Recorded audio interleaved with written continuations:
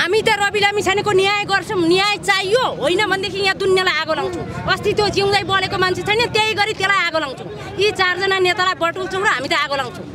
कुनै पनि यहाँ कमी कमजोरी हामी मजदुर उठ्नुपर्छ अब। यी ठुला ठुलाले केही गर्ने। कानुन त सबैले मान्नु पर्ला नि। के को कानुन छ यहाँ? कानुन छैन नेपालमा? कानुन भएदेखि हाम्रो कानुन किन आएन? नभए पहिलेको पत्रकार मार्दाखेरि यो रवि लामी छानाले मार्थे। यिनीहरू गुन्डा हुन्। एक नम्बरका गुन्डा हुन्। नेपालमा अब यिनीहरूले केही गर्दैनन्। चाहे तपाईँहरूले जेसुकै भनेर मलाई यहीँ जेलमा हाले नि हाल्नुहोस् म त जान्छु। म देशकै लागि मर्छु। हिजो यिनीहरू एमसिसी पास गर्छन्। हामी जस्ता गरिब जनताको के छ? हामीलाई यत्रो यत्रो ऋण लाउँछन्। हामी चाहिँ रात दिन अर्काको इँटा ढुङ्गा बोकेर हाम्रो ज्यान हाम्रा छोराछोरी हाम्रा चार वर्ष आठ वर्षका छोरछोरी लोग्नीले छाड्दा पनि हामी मजदुर भएर आनन्दले गरी खाँदाखेरि आजका हिरोन्डी हामी पालेका छन्। अदालतले न्याय दियो त हिजो रवि लामिछाने नेपालको नागरिक होइनन् भनेर। हाम्रो अदालत गतिलो भएको भए हाम्रो नेपाल गतिलो भएको भए आज कति मजदुर रोएर हिँड्नु पर्थ्यो कति छोरा कति मान्छेका हामीरा जस्ता छोराहरूले रोजगार नपाएर रोएर बस्नु पर्थ्यो कतिको जेलमा बसेर नेलमा बसेर भोग तिर्खा राम्रा राम्रा मान्छे कलाकार यिनको जेलमा पत्रकार यिनीहरूको जेलमा अँ पत्रकार कोही लगेर काहीँ मार्ने? यिनीहरूको यही हो न्याय नीति। कसैले देशमा केही गर्छु भन्दाखेरि आज लगेर राम्रोसँग यहाँको नागरिक होइन रे यतिखेरसम्म हामी अन्तबाट बसाइ सरेर आएको कार्ड नभइकन हामीले एउटा चुनावमा भोट दिन नपाउने।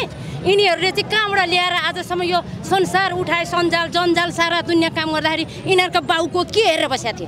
हँ यिनीहरूले हाम्रो देशलाई किन कालो रात बनाउँछन्? किन हामी मजदुरहरूलाई रोउँछन्?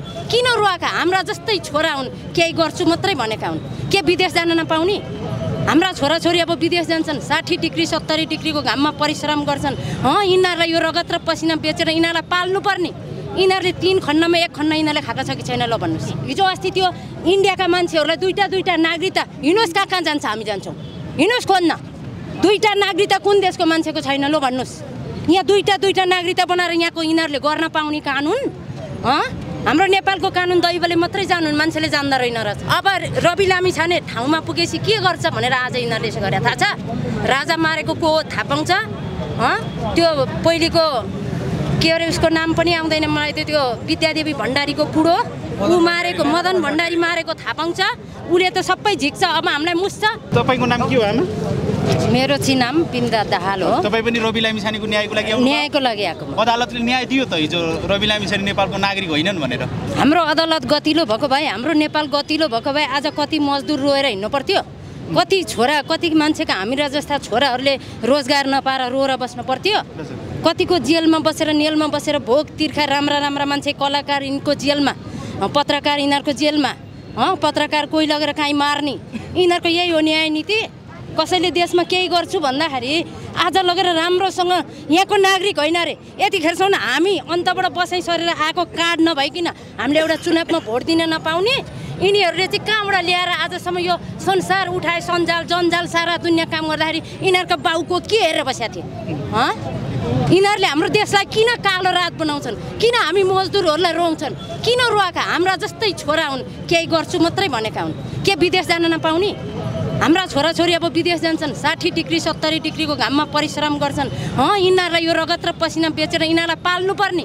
यिनीहरूले तिन खण्डमा एक खण्ड यिनीहरूले खाएको छ कि छैन ल भन्नुहोस्। आमा भन्नुहोस्। सर्वोच्च अदालतको आदेश त मान्नु पर्यो नि त। नेपाली नागरिक नै होइनन् भन्यो। आज चाहिँ त्यो अदालतले न्याय बनाउने। हिजो अस्ति त्यो इन्डियाका मान्छेहरूलाई दुईवटा दुईवटा नागरिकता हिँड्नुहोस् कहाँ कहाँ जान्छ हामी जान्छौँ।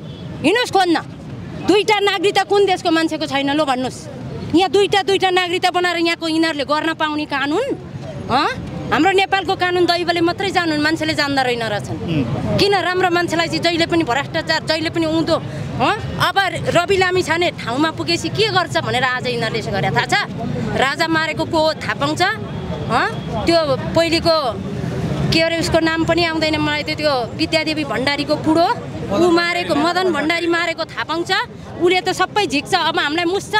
भनेर हिजो किन तिनीहरूले त्यहाँ लगे? त्यो चुनावमा लड्न किन दिए? उसको नागरिकतै छैन त किन चुनावमा लड्न दिए? नागरिकता छैन भने पार्टी नि दर्ता नगर्नु पार्टी किन दर्ता गर कहाँबाट गर के कारणले गर त्यहाँबाट आएर यहाँ सर्वोच्च यस्तो यस्तो ठुलो ठाउँमा ल्याएर चाहिँ किन यहाँसम्म आज यो पार्टीले के गर्न खोजेको थाहा छ? यसलाई यहाँबाट यसो गरौँ यहाँबाट यसो गरौँ यहाँबाट यसो गरौँ। नभए पहिलेको पत्रकार मार्दाखेरि यो रवि लामी छानाले मार्थे। यिनीहरू गुन्डा हुन्। एक नम्बरका गुन्डा हुन्। नेपालमा अब यिनीहरूले केही गर्दैनन्। चाहे तपाईँहरूले जेसुकै भनेर मलाई यहीँ जेलमा हाले नि हाल्नुहोस् म त जान्छु। म देशकै लागि मर्छु। हिजो यिनीहरू एमसिसी पास गर्छन्। हामी जस्ता गरिब जनताको के छ? हामीलाई यत्रो यत्रो ऋण लाउँछन्। हामी चाहिँ रात दिन अर्काकै इँटा ढुङ्गा बोकेर हाम्रो ज्यान हाम्रा छोराछोरी हाम्रा चार वर्ष आठ वर्षका छोरछोरी लोग्नीले छाड्दा पनि हामी मजदुर भएर आनन्दले गरी खाँदाखेरि आजका हिरोन्डी आइमाई पालेका छन्। उनखेर दुनियाँका छोरा ठुला ठुला गतिलाई कहाँ पुग्न आँटे? तिनीहरूलाई झारेका छन्। भोलि तपाईँहरूलाई झार्छन् मलाई झार्छन् अर्कालाई झार्छन् यी झार्दैनन्। यिनीहरूले के गर्दैनन् के गरेनन् यहाँभन्दा के गर्नु पर्यो? अब गर्न यिनीहरूले के पर्यो? तपाईँहरू उहाँ ठुल्ठुला ठाउँमा त्यो उसले लुटा लुट गरेर गरेको ठाउँमा जाँदाखेरि जा जा जा उता जा। हाम्रो ठाउँमा किन क्यामेरा ल्याइस्? हँ रवि लामी छैन त्यस्ता त्यस्ता निकाल्न आँटो भनेर गरेका यिनीहरूले। केही पनि होइन यो। यिनीहरूले सबै लुटा हुन् लुटेको ती सात पुस्तालाई पुग्ने धनहरू अब निकाल्छ भनेर यो गरेको अब सडकमा हुनुहुन्छ तपाईँ माइतीघर मण्डेलामा आन्दोलनरत हुनुहुन्छ। अब के गर्नुहुन्छ आमा? हामी त रवि लामी छानेको न्याय गर्छौँ। न्याय चाहियो। होइन भनेदेखि यहाँ दुनियाँलाई आगो लाउँछौँ। अस्ति त्यो जिउँदै बलेको मान्छे छैन त्यही गरी त्यसलाई आगो लाउँछौँ। यी चारजना नेतालाई बटुल्छौँ र हामी त आगो लाउँछौँ कुनै पनि यहाँ कमी कमजोरी हामी मजदुर उठ्नुपर्छ अब। यी ठुला ठुलाले केही गर्ने। कानुन त सबैले मान्नु पर्ला नि। के को कानुन छ यहाँ? कानुन छैन नेपालमा कानुन भएदेखि हाम्रो कानुन किन आएन? हामीले किन न्याय पानौँ? हामीले किन एउटा काम पानौँ दाम पानौँ हामीले किन परिश्रम गरेको पसिनाको मूल्य नेपालमा कानुनै छैन। कानुनै छैन। कानुन भएदेखि आज रवि लामी छाने जस्तालाई कानुन छैन भनेर नागरिकै होइन। किन नागरिक होइन? किन यहाँको नागरिक होइन? जन्मेको त भक्तपुरमा हो। हँ? तेह्र चौध वर्ष विदेश नबसिकन यहाँ कहाँबाट लुटेर आए यहाँ? यहाँ लुट्न कहाँबाट आए? यी नेताहरूको घर यहाँ होइन भन्ने नै हो यी राजधानीमा यहाँ एउटा पनि घर यहाँ होइन। राजधानीमा कुनै नेताको घर होइन थाहा छ? यिनीहरूको यिनीहरूको बरु नागरिकता पाँचवटा छन्। जेसुकै असलु हिँड्नु खोज्न। जाउँ यिनीहरूका भित्रभित्र खोज्न यिनीहरूको नागरिकता र धन हामी दाबी गरेर जाउँ त। अनिखेर थाहा हुन्छ कहाँ कहाँ को रहेछन् कहाँ कहाँ को रहेछन् भन्ने। होइन भनेदेखि सबै मान्छेलाई न्याय बराबरी गर्नुपर्छ। पर्छ कि पर्दैन भन्नुहोस् तपाईँहरूले पनि सोच्नुहोस्। पर्छ पर्छ पर्दैन? त्यसो भए अब आन्दोलन चर्किन्छ होइन? आन्दोलन त चर्किन्छ। बरु हामी यिनीहरूले त हाम्रो आमा यो जन्मभूमि हाम्रो आमा बेचेर यिनीहरूले मुटु खाए हामी यही देशको लागि मर्छौँ हामीलाई चाहिँदैन केही पनि। हस् थ्याङ्क यू सो मच कि जब नेपाली नि चाहिँदैन नेता पनि चाहिँदैन। नेपाली नभए नेपालको के काम नेपाल नभए नेपालीको के काम? काङ्ग्रेस एमाले र माओवादीको भए त्यही ठाउँमा हुन्थे। गृहमन्त्री अझै वर्षौँ वर्ष चलाउँथे। अहिले उहाँ नयाँ पार्टीबाट आउनुभयो नयाँ शक्तिबाट आउनुभयो जनताको मन मनमा बस्न सफल हुनुभयो। अब यसले त अहिले यो आधी जनताको मनमा मात्रै बसेको छ। अबको पाँच वर्ष पछाडि त यो सबै नेपालीको जनता मनमा बस्ने रहेछ। यसले हामीलाई निकाल्ने रहेछ। हामीले खान नपाउने भयौँ। अब भ्रष्टाचारी एक एक गरेर जेल जानुपर्ने भयो भन्ने डरले यिनीहरूले अन्याय गरेका हुन्।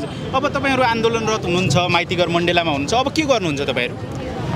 हामीले गर्न त के नै सक्छौँ र हामीले यति भन्छौँ प्रत्येक घर घरबाट भोलिदेखि रवि जन्मिनुहोस्। रवि रवि उसले आफ्नो लागि आएको छैन जनताको लागि केही गर्छु भनेर एउटा युवा युवाहरूको जोस जाँगर भएर आउनु भएको छ होइन उहाँलाई सबैजना भएर साथ दिउँ त्यही त भन्छौँ।